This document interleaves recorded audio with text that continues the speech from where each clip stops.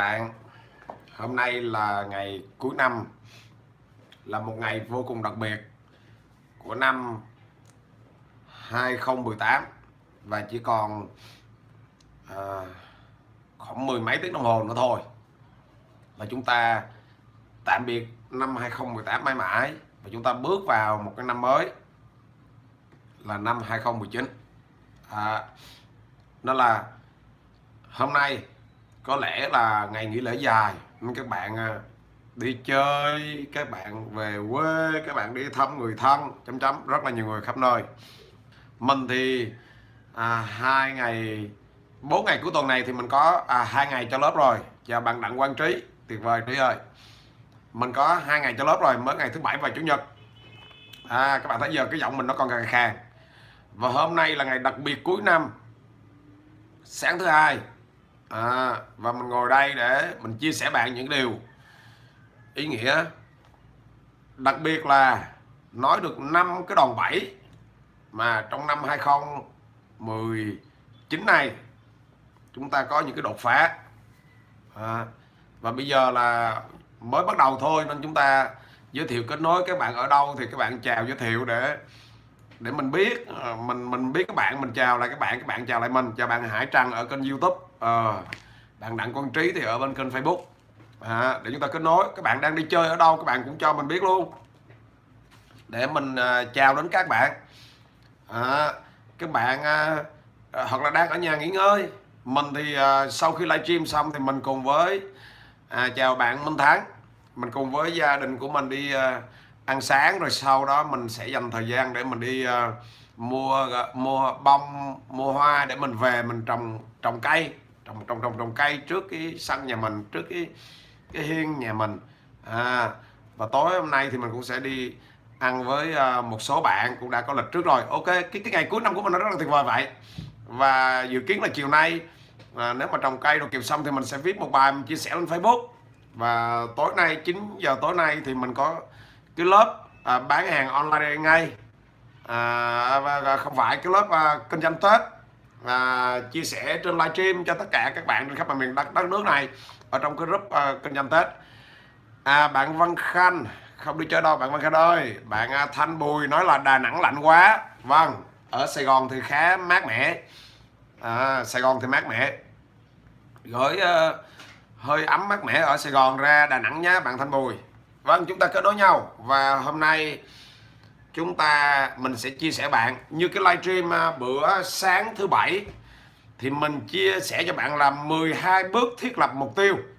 Tại sao cái ngày cuối năm mình chia sẻ cái điều này? Bởi vì nó rất là đơn giản thôi.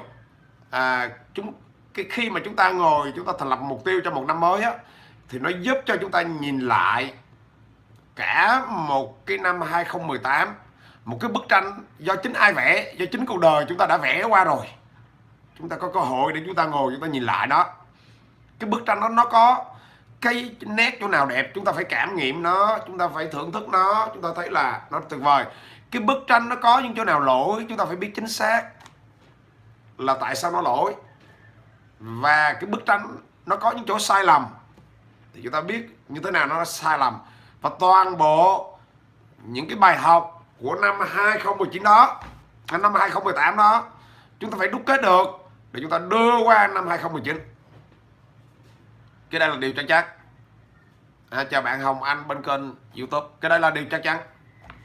À, cái gì của năm 2018 là tuyệt vời thì chúng ta cố gắng phát huy sang năm 2019 tuyệt vời hơn. Cái cái cái cái bức tranh nó có những cái vết lỗi gì đó. À, chào bạn Hát nó Vũ nha. Nó có cái vết lỗi gì đó thì mình phải chỉnh sửa đến năm 2019 nó tuyệt vời hơn. Và những cái sai lầm cái ngớ ngẩn nhất ở trên đời này là chúng ta lặp đi lặp lại cái sai lầm đó. Và các bạn có chứng kiến ra rằng rất là nhiều người họ sai lầm lần một rồi họ lại sai lầm lần hai rồi họ sai lầm lần ba. Cái đó là cái tuyệt vời. Vâng chào bạn Jessica buổi sáng tuyệt vời em. Ngày cuối năm tuyệt vời. Chào bạn Minh Hiếu. À, chào bạn Văn Khanh. À, chào bạn anh Hùng ở bên kênh YouTube. À, các bạn hãy chia sẻ cái livestream này và bấm vào nút like đi comment like chia sẻ. Các bạn nào mà bên kênh uh, YouTube mà lần đầu tiên các bạn biết mình thì các bạn bấm vào cái nút đăng ký cộng với bấm vào cái chuông nữa. Các bạn phải bấm vào cái chuông thì mỗi lần mà mình livestream thì nó mới báo đến nhà các bạn. Phải nhớ bên YouTube á các bạn phải bấm vào cái chuông đó. À, và giới thiệu về các bạn để mình biết để hai bên chúng ta cùng nhau chào nhau. À. đó. cái đó là lý do mà mà liên tục trong những ngày cuối năm này và đầu năm này mình làm mình luôn mình luôn gửi đến các bạn thông điệp là hãy lập mục tiêu hãy lập mục tiêu. Chào bạn Linh Nguyễn ơi hãy lập mục tiêu. Chào bạn Nguyễn Thắm. Cho năm mới. Và trong hành trình lập mục tiêu đó nó giúp cho chúng ta nhìn lại bức tranh của năm cũ. Và nó nó cho chúng ta thấy ra được một bức tranh mà chúng ta cần phải đi chúng ta cần phải tương thức chúng ta cần phải vẽ cho cái năm mới. À, đó là cái livestream thứ bảy nó vẫn còn ở trên kênh Facebook này. Cho bạn Phạm Quốc Toàn nó vẫn còn ở trên Facebook này nó vẫn còn ở trên kênh YouTube này. Các bạn hãy hãy đi xuống và các bạn xem. À, và có bạn họ à, các bạn feedback cho mình là bạn nói là lần đầu tiên bạn xem bạn có một cái bản đồ 12 bước thành lập mục tiêu nó rõ ràng nó như vậy. Bạn cứ hồi giờ bạn cũng hiểu vậy. Mà chưa bao giờ bạn có một cái bức tranh nó rõ ràng nó như vậy. À bạn nhận ra chưa? Đó là các bạn hãy làm ngay cái việc này. Trong ngày hôm nay, tối nay hoặc là ngày mai cũng được, hãy cố gắng. Và ngày hôm qua là chủ nhật, mình đã chia sẻ bạn livestream là năm năm cái cách để chúng ta có tiền và thậm chí chúng ta giàu có có tài sản cả triệu đô. Năm cách. Thì bạn sẽ xem năm cái đó. Nó vẫn còn nằm ở trên cái kênh Facebook này. Nó nằm vẫn còn nằm ở trên kênh YouTube này. Các bạn xem lại nó. Để gì à? Để các bạn thấy rằng à mình chọn cái cách nào đi cho phù hợp của mình. Cái vấn đề ở đây là cái cách đi. À, có đôi lúc là chúng ta có kiến thức chúng ta có kỹ năng chúng ta có kinh nghiệm chúng ta sẵn sàng cho cái cuộc chơi thành công. Nhưng chúng ta thiếu đi cái cách làm chúng ta thiếu đi cái cách đi thì chúng ta cũng có lẽ hay hoài. Là hãy xem và chọn cho mình cái cách đi và hãy tuân thủ với nó. Sáng hôm nay à, mình sẽ livestream sáng nay và sáng mai mình sẽ livestream cho các bạn. Bởi vì à, đây là những giây phút rất là đặc biệt mình livestream liên tục. Vậy thì mà sáng nay mình nói đến là năm cái đòn bẩy năm cái đòn bẩy. Và nếu các bạn biết ứng dụng trong năm 2019 này thì bạn cũng sẽ thành công. Cho bạn Huỳnh Đức Phụ tuyệt vời bạn Phụ ơi. À, là các bạn cũng trong năm 2019 các bạn cũng sẽ rất là thành công. À, mà là bây giờ nếu được thì các bạn nghe các bạn chia sẻ về nhà mình hoặc là có thể là các bạn lấy tập sách ra các bạn ghi để nó đi vào trong cái kiến thức của bạn năm 2019 để các bạn tiến thẳng về phía trước. À, chào bạn Trần Thanh Trung tuyệt vời em. Cái đòn bẩy thứ nhất đòn bẩy mà các bạn biết đòn bẩy mà đòn bẩy mà. À, một cái câu phát biểu nổi tiếng của nhà bác học Newton đúng không? À, hãy cho tôi một điểm tựa. Tôi sẽ bẩy trái đất lên. À, tại sao ông nói nó như vậy? Tại vì ông biết là cái sức mạnh của đòn bẩy nó rất là lớn. À, cái lực của ông cái con người của ông. Cái sức của ông mà ông nói là ông sẽ bẩy được cái trái đất này bay lên. Đó là cái câu mà phát biểu mà nó là truyền cảm hứng và nổi tiếng. Chào bạn Việt Trần. Rất là nổi tiếng của nhà bác học Newton. Điều đó nó nói lên cái gì à? Nếu mà chúng ta biết dùng đòn bẩy thì cái sức mạnh chúng ta nó sẽ rất là to lớn và nó đi nó đi nhanh và nó đi mạnh mẽ hơn. À, cái vấn đề là chúng ta dùng những cái đòn bẩy nào à, cái đòn bẩy thứ nhất mà chúng ta phải biết biết sử dụng nó đó là đòn bẩy về tài chính người ta gọi là đòn bẩy về tiền. À. đó, cái cái cuộc sống này thì các bạn phải xác nhận với mình rằng là chúng ta cần phải có tiền. À, còn ai đó họ nói rằng là à, đồng tiền không có quan trọng à, tình cảm là quan trọng hơn. Đồng ý tình cảm là quan trọng. À, tuy nhiên một thực tế cuộc sống là hàng ngày chúng ta phải sống với cái gì à? Chúng ta phải sống với tiền. Chúng ta ăn cũng cần tiền cái áo chúng ta mặc cũng cần tiền. Để mình live stream cho các bạn này này thì mình phải có cái, cái phòng này muốn có cái phòng này cũng cần tiền. Các bạn hiểu chưa? Để có được cái cái cái màn hình mà mình livestream cho các bạn này mình mình cũng phải mua cái điện thoại. Mà để các bạn xem được rồi thì phải dùng internet.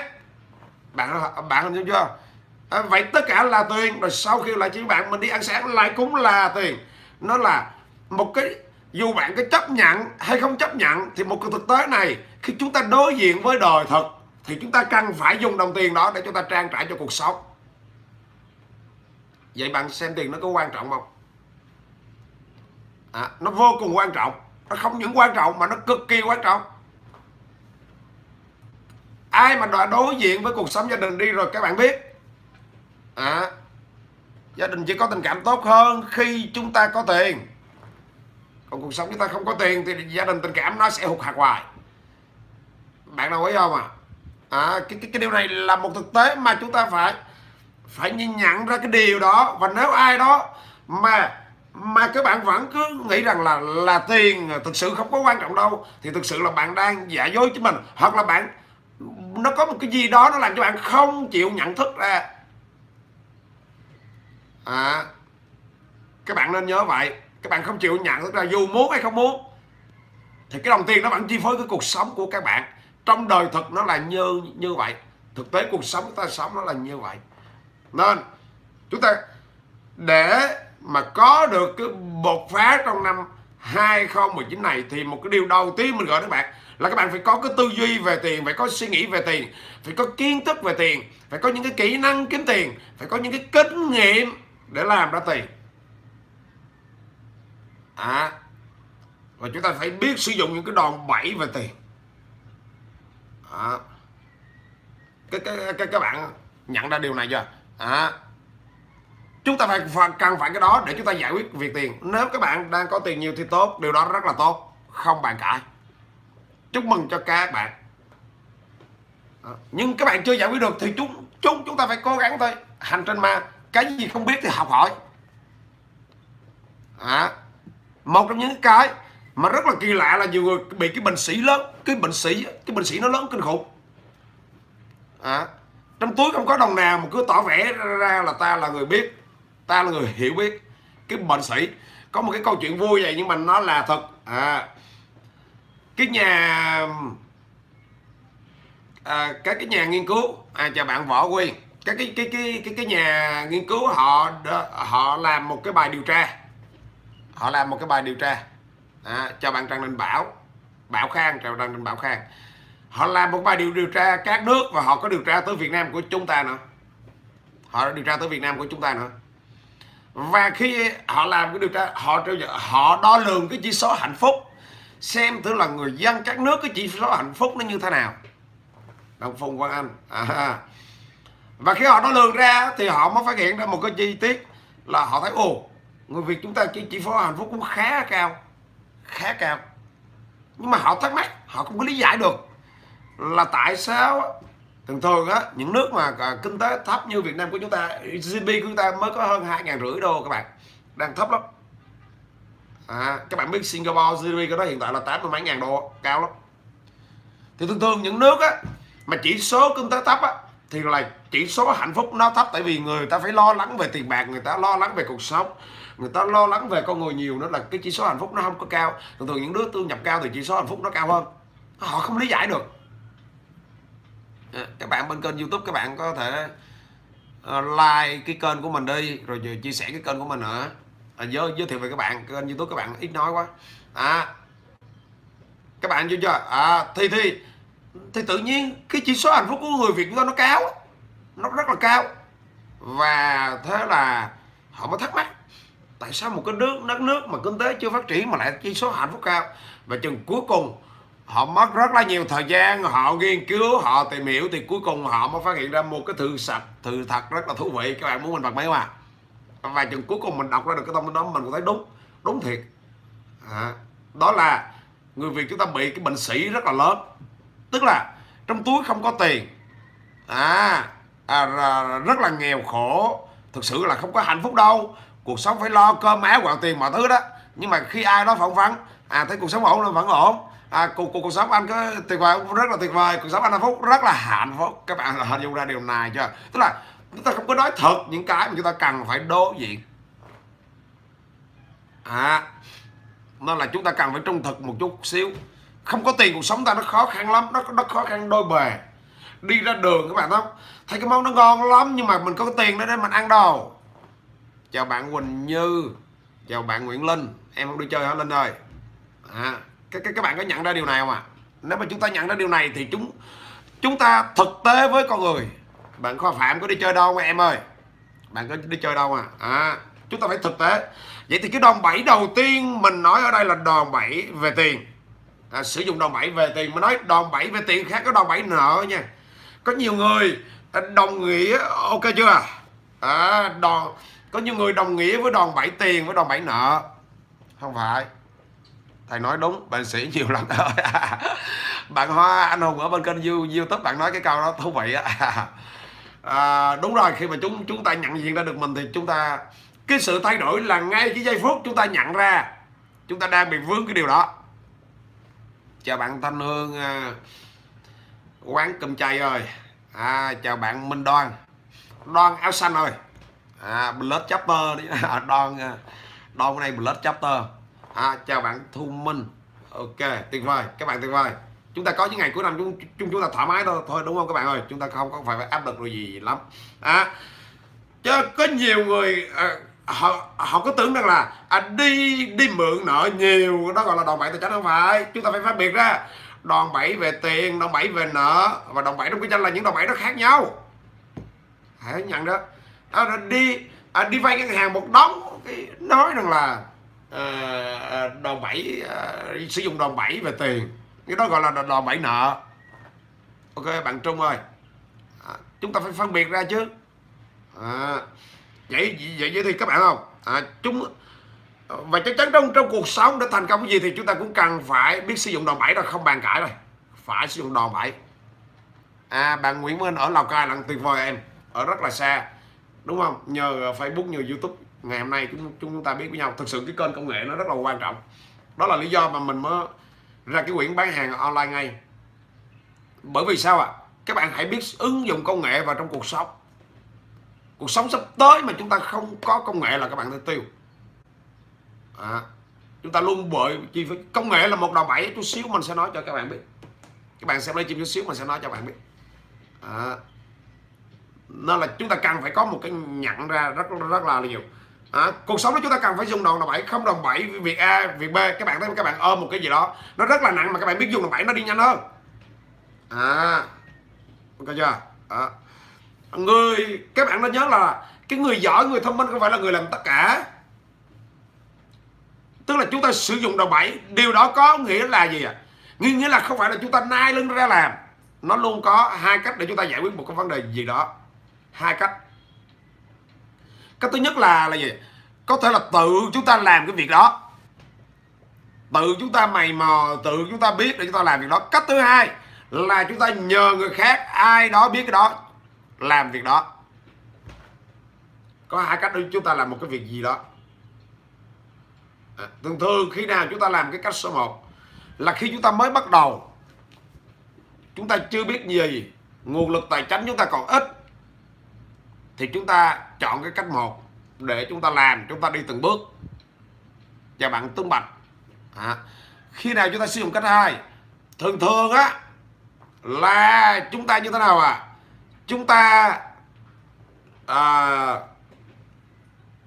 có tài chính rồi có đủ những cái kinh nghiệm để xây dựng mối quan hệ rồi có đủ những khả năng kết nối với những nguồn lực tuyệt vời rồi thì thường thường là chúng ta sử dụng cái cách số 2 à, nó là bao giờ cũng cũng cũng vậy. Nó có hai cách để chúng ta thực hiện một cái gì đó. Cái người mà lúc nào cũng nai lưng ra hì hột làm một cái gì đó thì chưa chắc đã tốt đâu à, à tùy theo từng trường hợp mà chúng ta biết rằng chúng ta cần phải sử dụng về cái gì.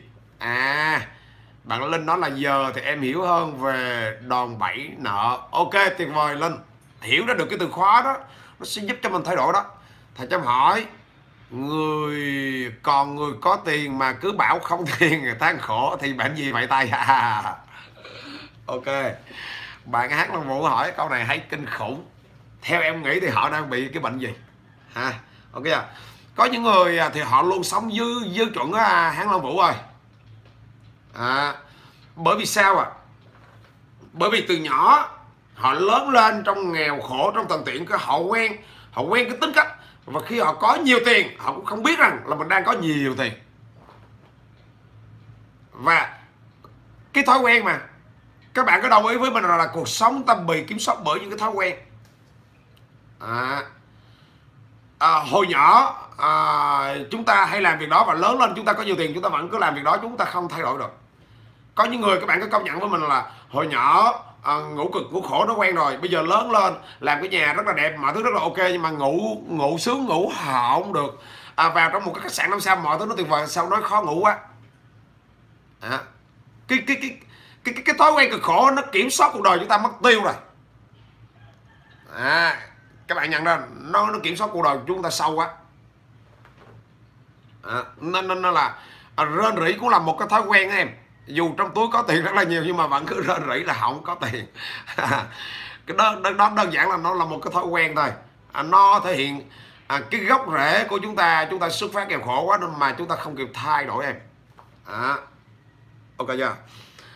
Chúng ta phải biết cách sử dụng à, à, tài chính để chúng ta đạt được những mục tiêu trong cuộc sống và mục tiêu kinh doanh. Đó là những con người khôn ngoan. À, đó là những con người khôn ngoan họ biết cách sử dụng tiền bạc để đạt được những cái mục tiêu. Chứ không phải là là là là là họ có tiền bạc họ về họ giữ họ giữ một đống trong tủ đó.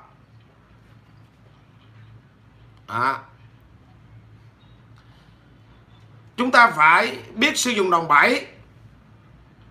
À, các bạn biết rằng là thành công của một cái công việc á thành công của một tổ chức á hoặc là thành công của một con người nó tỷ lệ thuận với với cái số lượng người mà ta giao việc cho họ. Cho bạn à, Hồ Trần Hùng ơi, tuyệt vời em. Hôm nay là cái ngày cuối năm rất là tuyệt vời, Hồ Trần Hùng ơi. À.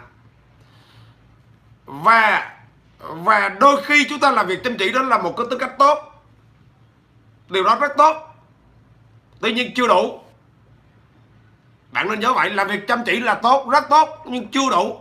Mà chúng ta phải tiến tới một cái bước làm việc tuyệt vời hơn đó là việc thông minh hơn. Nghĩa là chúng ta cần phải biết à, sử dụng những cái đòn bẩy mà, mà như cái chủ đề này mình đã nói là về đòn bẩy về tiền á để chúng ta đang đang từng bước từng bước để mình dẫn dắt các bạn đó. À, các bạn bên kênh youtube các bạn à, có thể like comment và share. Hồi nãy giờ tự nhiên xong mình không thấy những cái comment của bạn trên bên kênh youtube? À à có đây mà hồi nãy giờ sao tự nhiên nói chuyện luôn. À bạn Trung Phạm. À, bạn à, Nguyễn Hoàng. Tuyệt vời. À, à, bạn à, Thái Thọ. Ok Thái Thọ tới cái nghỉ lễ có đi chơi đâu Thái Thọ ơi. Vậy thì chúng ta sử dụng à, đòn bẩy về tiền mà à, nó có một cái từ viết tắt là O B phở M là nghĩa là order people money. À nó viết tắt từ cái từ tiếng Anh á à, chúng ta có thể là dùng dùng tiền. À, chúng ta chưa có tiền thì chúng ta có thể là dùng tiền từ những nơi khác những cái tổ chức khác người khác. Mình ví dụ mình ví dụ có một bạn bạn đó là sinh viên cách đây là 4 năm trước. À, bạn học sinh viên năm cuối và tình cờ bạn vào cái lớp của mình. À, bạn học Ờ, bên mình thì chỉ chia sẻ về làm chủ doanh nghiệp mà. À, và bạn mới phát hiện ra rằng à mình cần phải có cái kiến thức về làm chủ doanh nghiệp. Và mình học ra để mình đi làm chủ doanh nghiệp mình nhất quyết mình không chọn cái con đường khác. Tuy nhiên bạn là sinh viên mà. Bạn đâu có có tiền đâu. À, để học một cái khóa học về làm chủ doanh nghiệp kéo dài thì cần phải có có tiền. Chào bạn Mai Nguyễn nha. Đó. thì bạn như thế nào ạ? à? Bạn mới về sinh viên á. Các bạn cái đứa nào mà nó có cái tư duy đồng bảy nó suy nghĩ nó không có bế tắc. Và bạn về bạn gặp à, 7 người. Tức là bạn gặp nhiều hơn nhưng mà bảy người đó cho bạn mượn tiền mỗi người bạn mượn một ít mỗi người bạn mượn một triệu 2 triệu 3 triệu tùy theo từng người. Và tự nhiên bạn có tiền bạn đóng bạn bạn đi học. Bạn đóng bạn đi học. À, sau này bạn chia sẻ với mình. Kiểu là em biết cái khóa học này là em học em sẽ đi theo một cái con đường khác. Cái con đường làm chủ. Và em biết là em cần phải học. Nhưng mà bây giờ mà em xin tiền ba mẹ để em đi học thì không được. À, nên là bằng cách gì như thế nào ạ? Em về em suy nghĩ và em em kêu là góp gió thành bão nhiều người thì nó sẽ làm bự lên. Nó làm cho tiền người ta nhiều lên. À, mà cái mô thức này ở xã hội người ta sử dụng nhiều lắm. Bây giờ mình ví dụ các bạn các bạn biết cái công ty cổ phần không? Cổ phần á, mà nó niêm yết chứng khoán ở trên sàn á. Các bạn có biết cổ phiếu không? Rồi các bạn xem trên sàn á cái, cái các bạn thấy là mỗi cổ phiếu nó bán là giá bao nhiêu bao nhiêu á. Là các bạn cái mô thức đó là mô thức gì không? Đó mô thức đi huy động vốn từ nhiều người. Cái mô thức nó đang rõ ràng đó nó đang sử dụng đòn bẩy và tiền đó. Một cái công ty cổ phần hóa lên sàn là là là gì? Rất là đơn giản. Là bạn nè chính bạn nè bây giờ trong túi bạn đang có một triệu mà cái cổ phiếu đó 100 ngàn thì bạn tới bạn mua à, 10 cái cổ phiếu thì bạn đưa cho nó một triệu. Thì nó dùng cái một triệu đó và nhiều người như bạn 100 người như bạn 1 ngàn người như bạn thì nó có rất là nhiều tiền. Và nó trả lại cho bạn nó làm bằng chứng cho bạn là à, anh đã mua cái cổ phiếu của tôi. À, cái cái mô thức đó rất là thông minh. Người nào mà biết sử dụng cái mô thức này người đó họ thông minh lắm. À, họ họ họ rất là tuyệt vời. Họ biết cách sử dụng cái nguồn lực về tài chính của người khác. Và tất cả các công ty cổ phần họ đều làm cái cách này. Mà nói cho bạn biết, nên là chúng ta cần phải năng động ở cái chỗ đó. Rồi, cái gì nữa? Cái cái quỹ. Khi mà các bạn nghe quỹ là các bạn biết rồi. Quỹ là gì? Quỹ là cái, là là nó thành lập ra một cái tổ chức nó chuyên giữ tiền của người khác, rồi người khác đóng góp vào tiền rồi cái, cái nó mới có cái cục bự đó ra và nó mới mang cái quỹ đó nó đi đầu tư. Nó đầu tư nơi này đầu tư nơi kia để nó sinh lãi để nó nó thứ nhất là nó bảo vệ được cái gốc của bạn là cái tiền bạn gửi vào cái quỹ đó. Cái thứ hai là gì? Cái thứ hai là gì? À ok bạn tính lê hoàng. Cái thứ hai là bắt đầu là là là là cái quỹ đó nó lãi ra thì họ trả lãi cho bạn. À cái thứ ba là là như thế nào? Là ngân hàng đó. Cái tiền mà bạn gửi tiết kiệm vào ngân hàng á, các bạn biết ngân hàng nó làm gì? Ngân hàng nó đang sử dụng tiền của bạn đó. Tiền của người khác các bạn. Thằng thằng ngân hàng là cái thằng trùm sử dụng tiền của người khác. Thằng ngân hàng đó, nó sử dụng tiền của người khác không đó? À bạn ơi hiểu chưa? Nó sử dụng tiền của người khác. Bạn gửi tiền tiết kiệm vô là làm gì? Thứ nhất, nó đảm bảo nó nói tiền tiết kiệm để làm gì vậy? để bạn có tiền dư thì cứ gửi vào cho nó. Và nó mang tiền tiết kiệm ra nó cho vay lại. Nó cho các người khác vay lại với giá cao hơn. Các bạn thấy bây giờ mà bạn gửi tiền tiết kiệm thì nó đâu khoảng khoảng à, nó trả cho bạn một năm đâu khoảng có có ba bốn năm phần trăm gì đó à. mà nhưng mà nó cho người ta vay lại 8 phần trăm 10 phần trăm. Nó hưởng cái trên lệch đó. À, bạn nhận ra vấn đề không? Rồi, bạn gửi tiền cho đó, mà bạn như thế nào à? Bạn rút tiền ra, nó cũng thu phí bạn. Các bạn thấy chưa? Ừ cái ngân hàng thì thôi, nó lấy tiền đủ thứ đó. Nãy giờ đói bụng, định đi ăn sáng mà xem livestream, thích quá. Đợi hết livestream luôn, ok. Tuyệt vời, mình cũng chưa ăn sáng đây. Livestream xong mình mới đi ăn sáng. À. Ờ, các các bạn nhận ra điều này tuyệt vời mà. Và ngân hàng là nó trùm đi huy động tiền khác rồi, bảo hiểm thằng bảo hiểm là cái thằng này cũng sư phụ luôn. Nó tạo ra một cái sản phẩm. Bảo hiểm về sức khỏe để nó làm gì? Nó lấy tiền của bạn. Các các, các bạn thấy bảo hiểm không? Bảo hiểm là trùm đi sử dụng tiền của bạn. Mình đang nói các bạn về cái cái cái gì các bạn không? Cái đòn bẩy về tài chính. Bạn phan thị kim yến thằng bảo hiểm là cái thằng trùm luôn. À, nó cứ gì thế nào à? Nó nó nó suốt ngày nó đi bán bảo hiểm, mà thực sự là nó đi bán à, một cái hợp đồng. Các bạn nào biết không? Cái hợp đồng. Một cái tờ giấy thôi. Rồi nó lấy tiền của các bạn. Rồi nó đi đầu tư. Rồi nó dùng tiền đó để nó trả lại bảo hiểm cho bạn. À bảo hiểm là trùm luôn. Rồi ai nữa? Các bạn thấy vô đi. Đài những cái ăn bất động sản, những cái ông dự án bất động sản là cũng trùm luôn lúc xưa còn kênh nè bây giờ luật nó chặn lại bớt. Lúc xưa mình kể cái đây mà trước khi luật uh, uh, nó ra lúc lúc lúc xưa các bạn biết mấy ông đó là ông chỉ có cái tờ giấy để gì à? Để nhà nước à, cấp cho cái miếng đất cái chỗ đó qua cái mối quan hệ gì đó. Thế là mấy anh đi bán dự án trước. Hồi đó là chưa đào móng luôn bây giờ thì luật bắt đầu nó chặn à. Cái đây mà 10 năm năm năm, năm, năm trước các bạn vui lắm. Mấy ông đó toàn là mấy ông mà xây dựng mấy cái cái dự án lớn mà bán cho người ta là tay không bắt giặc không à?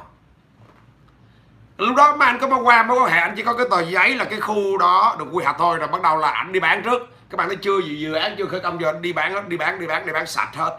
Lấy một đống tiền về rồi bắt đầu anh mới đi giải tỏa.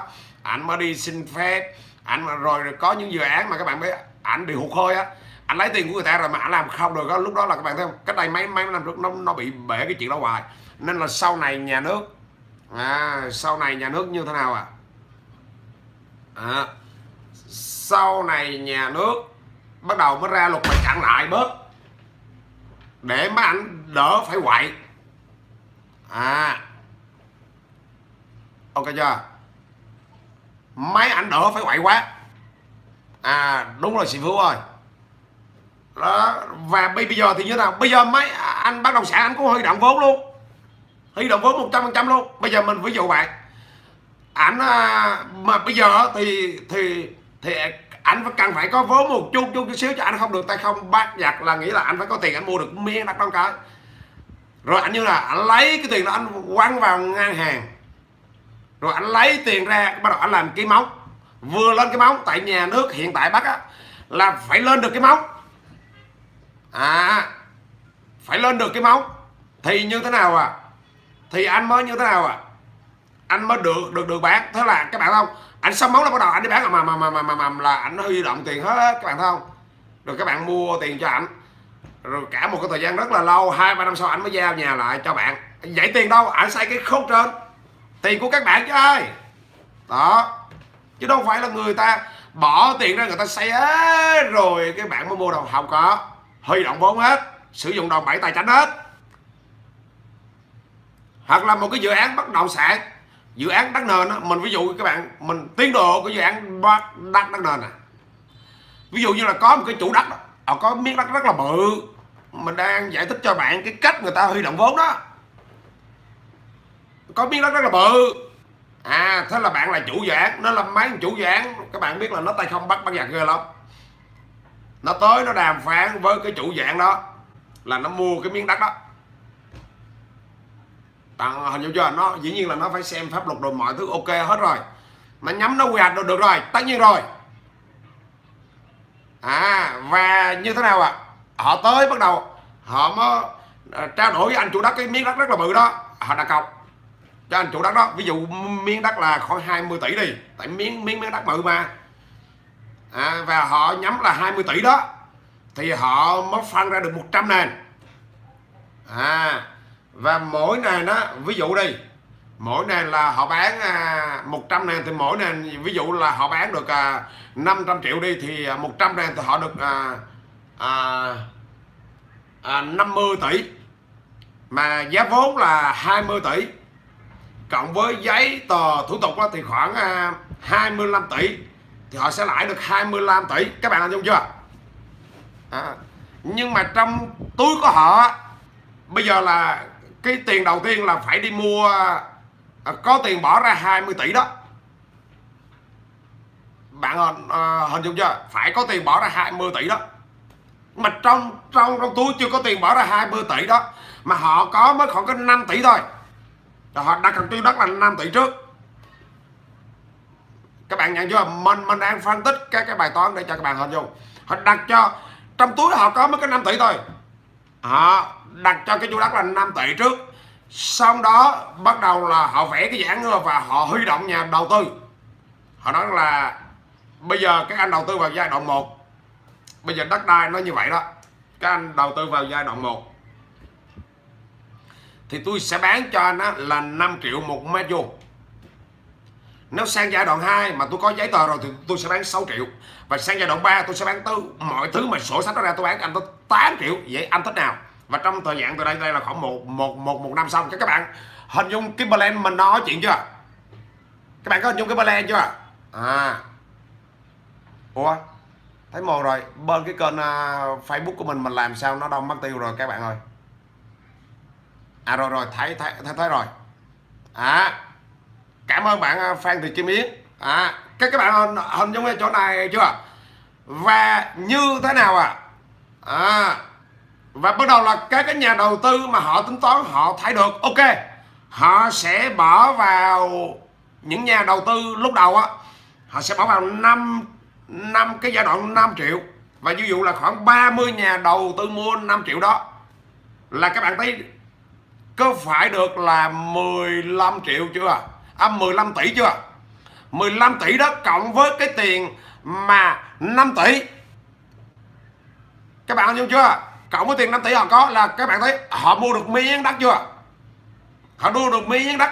Nhà đầu tư kia mua lúc đầu giai đoạn 1 thì nhà đầu tư rất là có lợi tại vì nhà đầu tư mua có 5 triệu một mét thôi mà. Rồi vậy là họ có tiền miếng đất rồi. Bạn chưa chưa? Họ có miếng đất rồi. Họ có miếng đất là họ bắt đầu họ tiến hành họ, họ làm thủ tục. Thì trong giai đoạn họ tiến hành làm thủ tục á họ lại phát bán họ đó là họ bán giai đoạn 2 6 tỷ.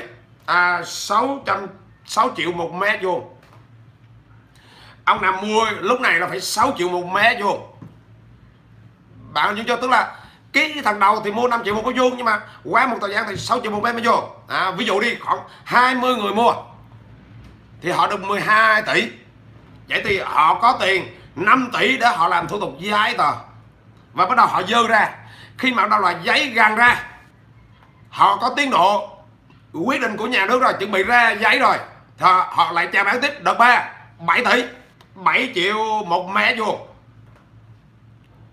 hình dung chưa? Và chừng cuối cùng sổ xích hết họ bán 8 triệu một mét mét vuông và thế là bạn hình dung chưa?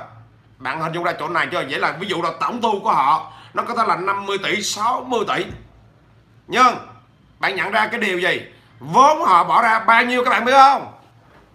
Bây giờ bạn trả lời đi. Vốn họ bỏ ra bao nhiêu? Thực tế họ bỏ ra vốn nó bao nhiêu? Một cái câu hỏi đặt ra cho các bạn đó hồi nãy giờ các bạn nhận ra cái bài học gì? Thực tế là vốn họ bỏ ra bao nhiêu? Nói đi các bạn ơi. Bạn truyền thông, phạm phạm truyền thông, tuyệt vời. À chào bạn Minh Nguyễn. À hồi nãy giờ các bạn theo dõi liên tục. Và mình đang làm một cái bài toán bạn. Vậy cuối cùng, đúng rồi. Bạn Việt trang, bên kênh YouTube nói 5 tỷ chính xác. Họ thông minh thật chứ. Vốn chỉ có 5 tỷ. Đúng rồi thông minh gì đâu. Cái đó là mình đang nói cho các bạn cái phương pháp đó. Đúng rồi, bạn Hương Cúc 5 tỷ. À bạn trăng Tấn Tùng 5 tỷ. Đúng rồi, các bạn thấy chưa chưa? Họ bỏ ra 5 tỷ, nhưng mà chừng cuối cùng họ như thế nào các bạn biết không? Tổng doanh thu của dự án đó là bao nhiêu à? Là, ví dụ, bán hết dự án nó 50 tỷ hơn. Và các bạn thấy tuyệt tuyệt tuyệt vời mà đó, mình đang nói với các bạn nó là chúng ta phải biết cách sử dụng mà nó là làm việc chăm chỉ hơn nhưng mà chưa đủ. Chúng ta phải biết cách làm việc thông minh hơn. Và vừa rồi mình làm ra một bài toán cho bạn người ta làm việc thông minh nó như thế nào? À, nó là ngay từ đầu cái livestream mình đã nói rồi. Trong năm 2019 này các bạn cần phải có một cái góc nhìn khác. Có một góc nhìn hoàn toàn khác. À, chăm chỉ. Bạn có kỹ năng bạn có kiến thức bạn có bằng cấp. Chấm chấm chấm chấm chấm bạn cũng chưa chắc để kiếm được nhiều tiền. Nếu bạn không biết những cái kiến thức mà của trường đời người ta đang vận dụng về nó như thế nào. À, và vừa rồi mình làm một cái bài toán thực tế đó cho các bạn thấy đó. Và các bạn thấy người ta tuyệt vời mà rất là tuyệt vời. Và mình nói ở ngoài sâu người ta đang sử dụng rất là nhiều cái phương thức đó. Những cái, cái những cái phương thức này trường học không có chỉ các các bạn đâu. Những người trường đời là họ rất là giỏi cái viên này à nên là các bạn hình dung chưa? Các bạn hình dung ra đòi bẩy tài chính nhưng mà nói cái đòi bẩy tài chính nó khác đòi bẩy nợ. Nhiều người cứ tưởng là đi mượn nợ một đống rồi cái tưởng rằng là à à à đó là đòn bẩy tài chính. Họ họ làm lạc với hai cái khái niệm đó. Các bạn thấy vừa rồi á mình đưa các bạn một cái bài toán nó có liên quan gì tới nợ năng đâu.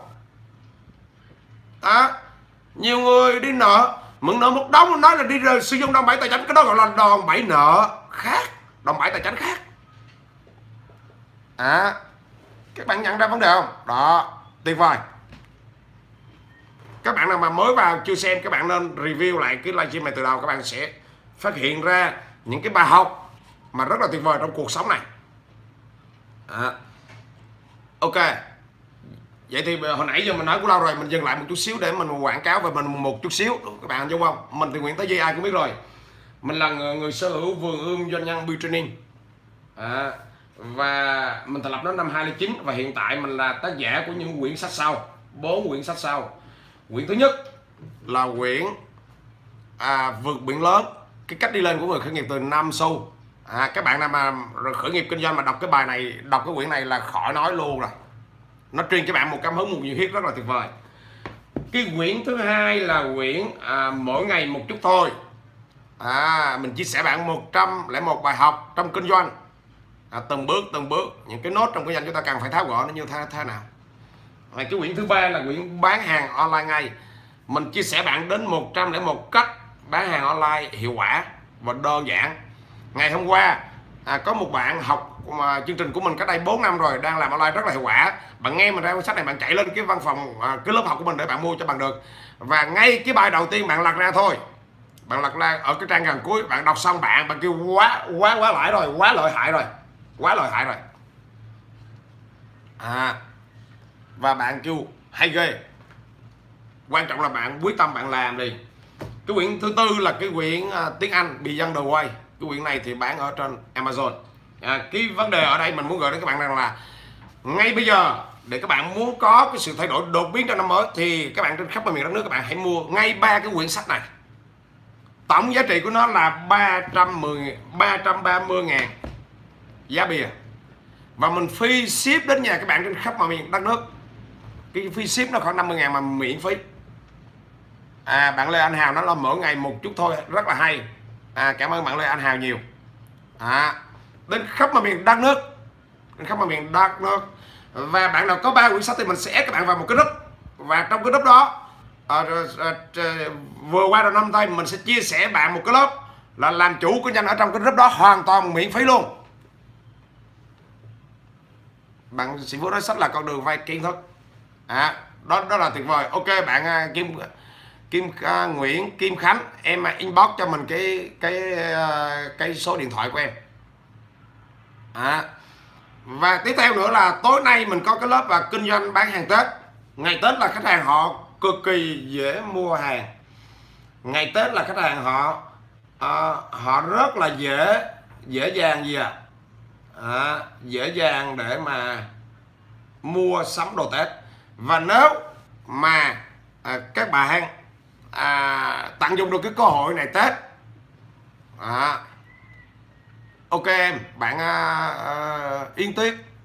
À, sách nó đang trên con, con đường tới em á. À, em inbox à, cái số điện thoại bạn hương cúc à, thì các bạn biết là để mình đọc cho các bạn cái cái cái bài chia sẻ của một bạn này.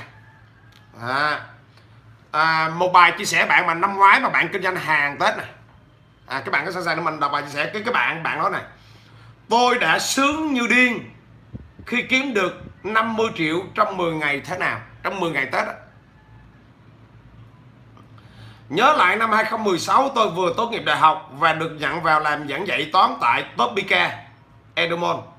Trong khoảng thời gian này tôi đã có một công việc ổn định và cảm thấy rất hạnh phúc vì được mọi người ủng hộ. Mình mình mình mình đọc cái câu chuyện của cái bạn giáo viên này.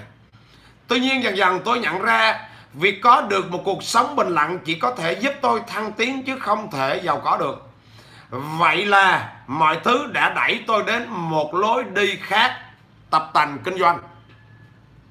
Các bạn thấy hay không ạ? Nhưng thật không may, thời điểm đầu rất khó khăn, việc kinh doanh không đạt kết quả như mong tôi mong đợi. Tôi loay hay không rõ mình đã bắt đầu từ đâu và kinh doanh mặt hàng gì. Tuyệt vời các bạn, rất là tuyệt vời đúng không? À, Lúc ấy tôi điên cuồng mua tất cả các cuốn sách điện tử và các bài giảng dạy cách kinh doanh với hy vọng cuối cùng một người nào đó sẽ tiết lộ bí mật bí quyết kiếm tiền hiệu quả. À, cái đây là một cái lời mà mình sẽ đưa lên Facebook để cho các bạn thấy. Và rồi bước ngoặt cuộc đời tôi diễn ra vào chính ngày này năm trước, ngày 14 tháng 12 năm 2016. Tôi tỉnh dậy lúc sáng sớm và nhìn thấy quảng cáo của một khóa học online chiến lược kinh doanh ngày Tết của thầy Nguyễn Tế Di, người sáng lập vườn ươm nhân nhân bị ninh nhìn qua nội dung mà tôi sướng như rơi nước mắt. Bạn thấy đã không ạ? À? bạn này viết content hay kinh khủng. Làm sao để có lời được 50 triệu trong 5 ngày Tết? Kinh doanh với số vốn gần như bằng không. Cách lựa chọn mặt hàng và mang lại lợi nhuận cao. Và tôi đã học và làm theo đúng những gì thầy dạy. Và cách bạn đoán được không? Chỉ trong vòng 10 ngày đầu năm 2017 tôi đã thu về 50 triệu đồng với số vốn võ viện chỉ có 2 triệu. Tuyệt vời không các bạn ơi? Mình đánh nó hồi nãy và cái bài là chi mình mình đã, mình đã nói là sử dụng đòn bẩy tài chánh mà. Phân biệt khác biệt giữa đòn bẩy tài chánh và đòn bẩy nợ. Bạn nào mà chưa phân biệt được thì hãy xem lại cái livestream này. Hãy thử tìm hiểu biết đâu bạn có thể kiếm nhiều hơn tôi nữa đấy. Ok tuyệt vời không? Các bạn đó là một cái bài cảm nhận của bạn. Và tối nay mình chia sẻ cái lớp đó, đó ở trong một cái group bạn nào quan tâm tới cái lớp này? Cái lớp này dĩ nhiên là có học phí. Các bạn ngồi học tại nhà trên khắp mọi miền đất nước. Mình chia sẻ qua livestream mà.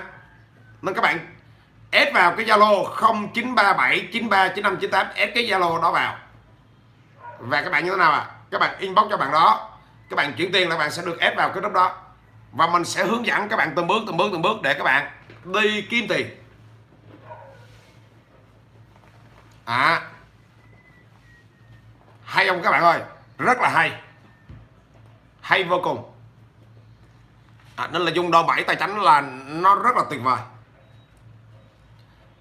Cảm ơn các bạn rất là nhiều. Hồi nãy giờ chúng ta à, mình nói các bạn năm cái đầu bảy lần mà hồi nãy giờ mình nói có một cái đầu bảy thôi. Mà các bạn thấy nó đã mất à, 40 40 à, 6 phút gần 47 phút rồi. Vậy thì còn 4 đầu bảy nữa mình sẽ chia sẻ các bạn tiếp ở những cái livestream tiếp tiếp theo. Tại cái nội dung này nó quá dài. Bởi vì mình muốn nói cho các bạn sâu và đây hiệu quả hơn. À, nên bây giờ à, chúng ta à, tạm thời tạm biệt ở đây. Rồi à, mình đi ăn sáng. Rồi sau đó à, sáng mai mình lại chia sẻ tiếp. À, tối nay thì mình có à, cái khoa khoa học rồi. Bạn nào mua sách và đăng ký những khoa học đó thì à, các bạn cứ inbox cái, cái số điện thoại và nói cái lý do của mình. À, cảm ơn các bạn. À, chúc các bạn một ngày cuối năm rất là ý nghĩa. Bây giờ mình đi ăn sáng với gia đình và mình đi mua à, đất mua cây rồi mình về mình trồng hoa. Bye bye các bạn nha.